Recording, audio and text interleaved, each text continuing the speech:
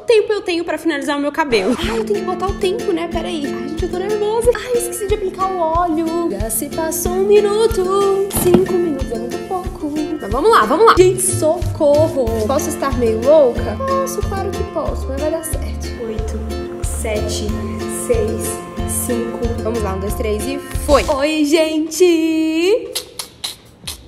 Estou aqui de toalha na cabeça porque o vídeo de hoje é um vídeo de finalização.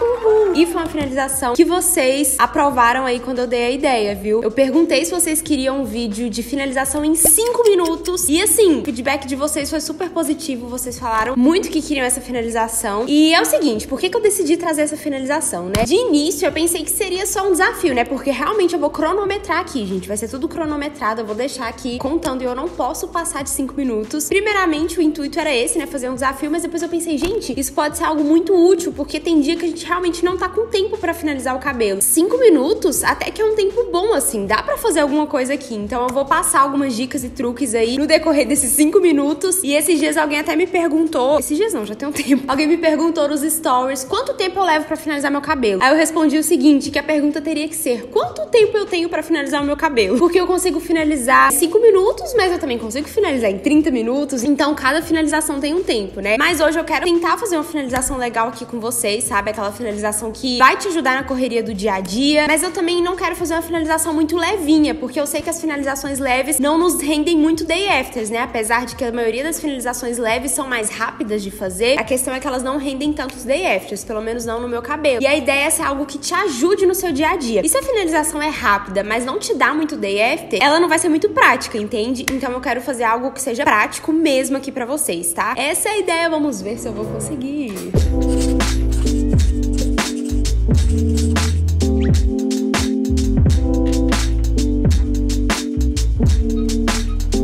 Vamos lá, gente. Eu vou começar. Ai, eu tenho que botar o tempo, né? Peraí. Antes de tudo, deixa eu só explicar quais os produtos que eu vou usar, senão isso vai fazer com que a gente perca tempo, né? Eu vou começar usando um óleo reparador, antes de tudo, né? Pra deixar as pontinhas mais brilhosas, enfim. E depois eu vou vir com um creme de pentear bem consistente. Claro que se você gosta de finalização mais leve, você vai apostar num creme mais levinho, enfim. Essa daqui é a finalização que eu faria se eu tivesse só 5 minutos, mas ainda assim quisesse fazer uma finalização que me desse muitos day afters, tá? Então eu escolhi um creme bem consistente Gente, esse daqui é o definidor de cachos. Ó, eu até peguei esse daqui que está novinho e ele é bem firme, ó. Ele tem uma consistência bem, bem, bem durinha. Eu amo esse creme, sério. Ele é muito, muito, muito cheiroso e ele deixa meu cabelo muito brilhoso. Aí eu vou usar ele. É isso. Não vou usar mais nada, não vou usar gel, não vou usar gelatina, porque quanto mais produto, mais tempo, né? Então, queremos otimizar isso daqui. Peraí, deixa eu respirar fundo. Vamos lá, então. Um, dois, três. Ai, gente, eu tô nervosa, peraí. Eu tô com muito medo de não dar certo, mas vai dar certo. Vamos lá, um, dois, três e foi. Dei o play aqui. Vou começar separando. Nossa, meu cabelo está muito seco porque eu fiquei com muito tempo a toalha na cabeça. Mas enfim, vou começar prendendo aqui o topo da cabeça. E o restante aqui do cabelo, vou começar a aplicar o creme tirar o meu anel, que eu sempre tiro anel pra finalizar. Ó. Ai, eu esqueci de aplicar o óleo. Que inteligente. eu esqueci, gente, mas eu aplico depois, tá? Porque eu gosto de aplicar o óleo de forma geral no cabelo. Mas eu acho que eu nem vou aplicar, então. Mas fica a dica aí pra vocês. Aí agora eu vou pegando a escova e vou desembaraçando. Como meu cabelo tá mais seco, ele tá um pouquinho mais embaraçado também, porque eu não consegui desembaraçar no banho. Então eu vou desembaraçando aqui com a escova. Se você conseguir desembaraçar no banho, melhor ainda, porque você ganha mais tempo. Vou aplicando mais creme, já se passou um minuto. Ó, e eu vou aplicar uma boa quantidade de creme, viu?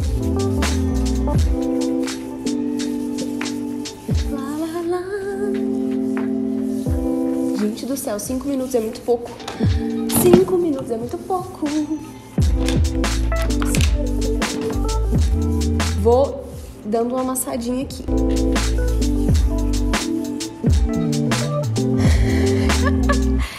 gente, é cada uma que a gente arruma que vou te contar, viu? Tinha tempo que eu não finalizava o meu cabelo assim mais seco, sabe? Mas quando eu finalizo ele mais seco, é, fica. Como que eu posso dizer? O creme não dilui tanto, né? Então, acaba que fica aquela finalização mais estruturada. Pena que eu não desembaracei meu cabelo no banho, está um pouquinho desembaraçado. Está um pouquinho embaraçado aqui. Mas vamos lá, vamos lá. Socorro, eu tenho só 2 minutos e 30. Dando uma amassadinha aqui. Foi. Essa parte aqui foi. Aí, eu vou dividir essa daqui em duas. Gente, eu não sei se, vai, se isso vai dar certo. Vou borrifando a água. Creme. E... Gente, socorro! E desembaraça.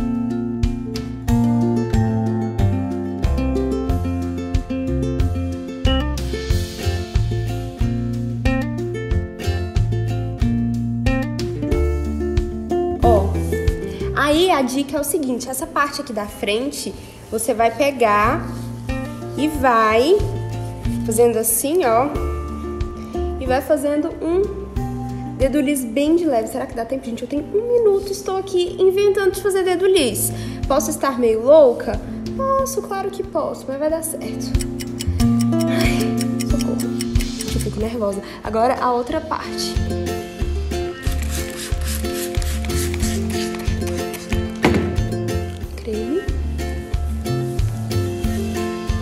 Eu tô pegando bastante creme porque eu tô pegando mechas grandes, né? Então eu preciso que todo o cabelo tenha creme. E como as mechas estão grandes, por isso eu peguei um pouquinho mais de creme.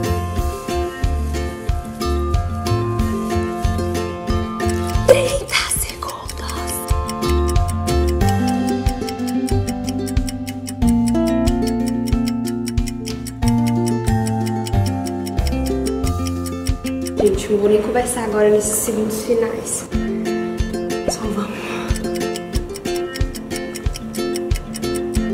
Oito, sete, seis, cinco, quatro,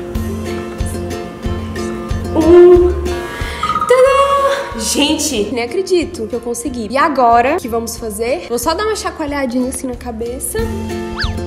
E pronto, não vou fazer mais nada. Agora eu vou esperar secar e eu volto pra contar pra vocês se deu certo, se não deu certo. Mas ó, eu sinto que o meu cabelo tá com bastante creme, assim, todo o cabelo recebeu creme, tá bem hidratado. Mas eu achei que foi tranquilo, todo o cabelo tá com creme. Quer dizer, tranquilo não foi, fiquei um pouco desesperada. Mas eu acho que pode dar certo sim, ainda mais porque deu certo de fazer esse dedo liso aqui na frente. Então acho que vai ter essa definição aqui na frente que eu gosto. É isso, vamos ver o que vai dar, né? Já já eu volto pra mostrar o resultado final para vocês. Gente, eu tô chocada com essa finalização. Eu simplesmente amei! Gente, só uma coisa, eu mudei a maquiagem, não sei nem se o cenário tá no mesmo lugar, porque eu estava gravando um outro vídeo de maquiagem, que é essa daqui que eu estou usando, que é uma maquiagem testando uns produtos novos que eu comprei. Se já tiver saído aqui no canal, vou deixar nos cards. Se não, aguardem. Eu amei, eu amei. Eu achei que deu volume, mas deu definição ao mesmo tempo, deu brilho. O cabelo não tá aquele cabelo muito, muito leve, sabe? Eu sinto que vai render alguns day after sim. Sério, eu achei que ficou demais. Outra coisa, o cabelo, ó, dá pra jogar facilmente de um lado pro outro, que ele ficou mais soltinho na raiz. E como foi ali na correria, não deu pra dividir muito, então ficou bem soltinho assim pra jogar de um lado pro outro, sabe? Bom, então vamos lá, pega os truques. Começar dividindo o topo da cabeça, né? Só separa assim, não precisa dividir mecha por mecha, porque senão aí não vai ser 5 minutos, vai ser 50. Então só começa dividindo no topo da cabeça. Depois você vai aplicando o creme em muita quantidade. Se você tiver muito cabelo como eu tenho, se você tiver menos cabelo, você coloca menos produto, mas vocês entenderam, né? Então você vai pegar uma quantidade de produto maior do que você aplicaria se a mecha fosse menor. E aí você já aplica ali tudo de uma vez, já vai desembaraçando, já vai fazendo pitagem ou o que você gostar de fazer, né? Vai amassando. E depois você vai pro topo da cabeça. Se você quiser dar mais um pouquinho de atenção, né? Fazer um dedo liso igual eu fiz, vale também. E pronto, gente, finalização em 5 minutos. Amei, amei, amei. O cabelo tá muito macio. Claro, né? Assim, tem algumas mechas, tipo essas assim, ó, que são mais secas, né? Essas partes aqui do meu cabelo que são mais secas, que fica um pouquinho mais bagunçadinha, mas eu gostei porque deu volume, sabe? Fica a dica aí pra vocês, espero que vocês tenham gostado. E me contem aqui nos comentários quais os próximos desafios capilares que vocês querem ver eu fazendo por aqui. Um beijo, fiquem com Deus e até a próxima. Tchau!